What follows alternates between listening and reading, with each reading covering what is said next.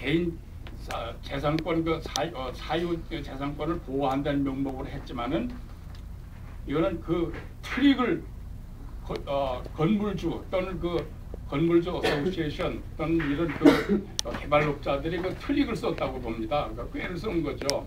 그래서 이것이 통과되면은 그 개발업자 건물주들은 이건 폭리를 취하게 되는 결과가 되고 자기 이익을 위한 그 결과를 갖다 어, 내기 위한 것입니다. 그리고 어, 렌트 컨트롤 입주자들은 더욱 그 가난해지고 결국은 극단적으로 어, 길거리에 쫓겨나는 그 결과가 될 것입니다.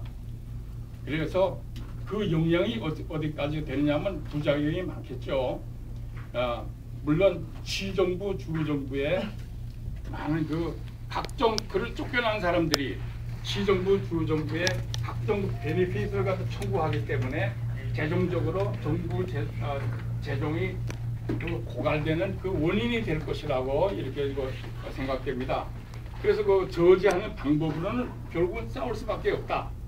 방법은 그 우리 커뮤니티 그 단체가 각국의 그 커뮤니티와 그 연계해 가지고 TV 신문 홍보물을 다 배포를 해 가서 수단을 다 동원해 가지고 주지사, 시장, 시의원들을 다 상대로 해가지고 홍보를 해서 어, 공동 그 지지 성명을 받는 것이 좋겠다.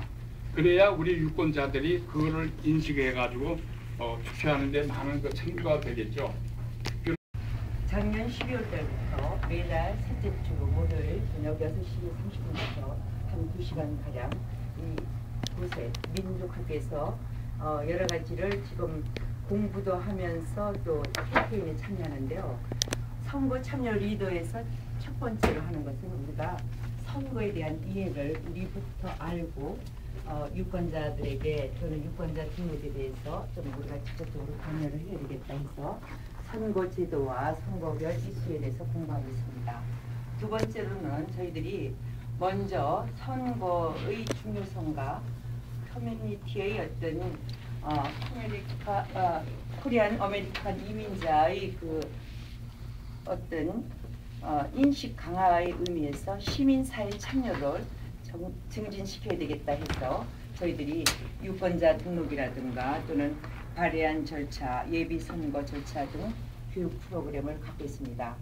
그리고 제가 지금 어, 작년 12월 달부터 난 여기서 참여하면서 가장 를 준비를 하고 있는데요. 그거에 관해서 우리 선거자원활동가 임광춘 씨가 올해 6월 3일 선거에 관한 캠페인에 대해서 설명을 해주시겠습니다. 네, 어, 6월 3일 어, 예비선거 관련해서 저희가 캠페인 벌리고 있는 일정에 대해서 말씀드리겠습니다. 크게는 네 가지가 있는데요. 유권자 등록을 먼저 하고 그리고 어, 전화 걸기 캠페인, 유권자 가정 방문 캠페인, 교육 워크숍을 열 예정입니다. 먼저 유권자 등록은요 민주학교에서 5월 19일 오전까지 그때가 마감일이고요. 오늘 4월 30일, 5월 22일 저희가 어, 시민권 선서식장에 가가지고 저희가 유권자 등록을 그쪽에서 바로 받을 받을 겁니다. 그리고 이제 전화 걸기 캠페인은요 오늘이죠 오늘 4월 28일부터 어, 3주간 5천 명의 유권자들을 대상으로 해가지고요 저희가 어, 홈뱅킹을 할 예정이고요. 그리고 유권자 가정 방문 캠페인은 5월 10일, 5월 24일.